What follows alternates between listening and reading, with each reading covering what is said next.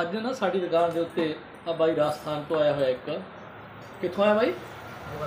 ਹਾਂ ਗੂਗਾ ਮਾੜੀ ਤੋਂ ਆਇਆ। ਬਾਈ ਕਹਿੰਦਾ ਮੈਂ ਚਾਹ ਪੀਣ ਵਾਸਤੇ ਬਹਿ ਗਿਆ ਨਾ ਸਾਡੇ ਕੋਲ। ਇਹਦੇ ਕੋਲੇ ਇੱਕ ਸਾਜ਼ ਹੈ। ਇਹ ਸਾਜ਼ ਦਾ ਕੀ ਨਾਮ ਬਾਈ? ਰਾਵਣ ਥਾ? ਰਾਵਣ ਥਾ ਸਾਜ਼ ਹੈ ਇਹ ਤੋਂ ਆਪਾਂ ਗਾਣਾ ਸੁਣਦੇ ਆ ਮਿਊਜ਼ਿਕ ਤੇ ਹਨਾ? ਸੁਣਿਓ ਤੁਸੀਂ ਵੀ ਦੱਸਿਓ ਕਿਵੇਂ ਲੱਗਿਆ ਹਨਾ? ਬਾਈ ਕਹਿੰਦਾ ਮੈਂ ਸਿੱਧੂ ਮੂਸੇਵਾਲੇ ਦਾ ਗਾਣਾ ਸੁਣਾਉਣਾ ਤੁਹਾਨੂੰ। ਠੀਕ ਹੈ ਨਾ? ਸੁਣਦੇ ਆ